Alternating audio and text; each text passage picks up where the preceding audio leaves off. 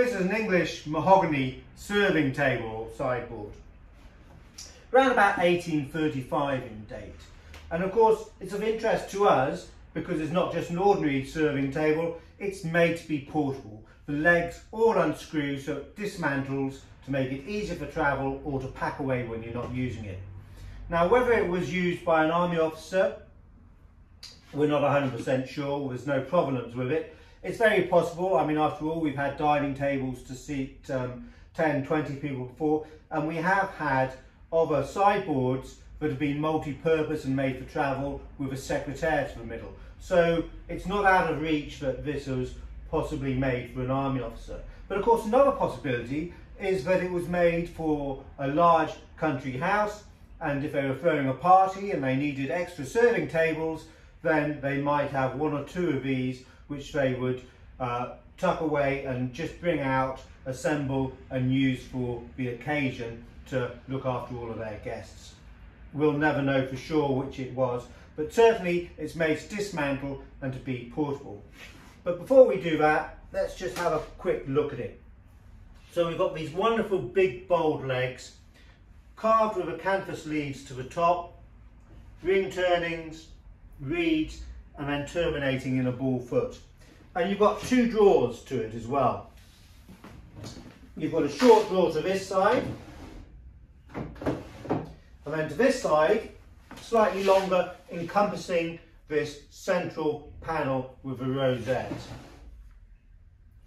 Now, a curious side to this table, serving table, which we haven't quite worked out yet, is that both drawers have got a little slit here, just by the keyhole of the escutcheon.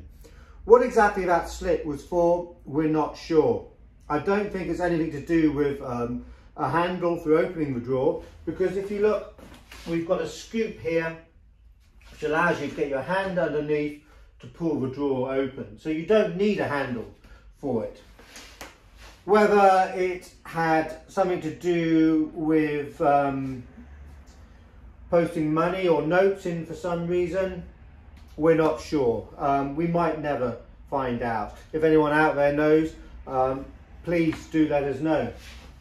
But an interesting curiosity to it. So, let's speed the film up a little bit, dismantle it and show you exactly how it all works.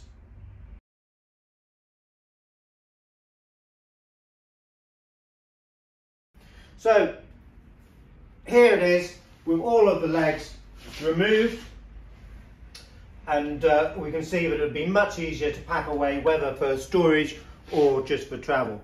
And now that we've got a leg off we can see these uh, nice big chunky wooden screw threads to unite it to the table and also we can see the carving and the turning a little bit better.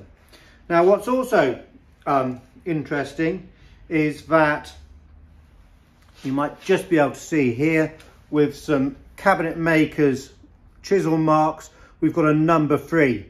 And all of the legs and the corresponding sockets are numbered so that they don't get mixed up. And that's quite important with um, this table because although they've carved acanthus leaves to the front they haven't taken the trouble to carve them to the back.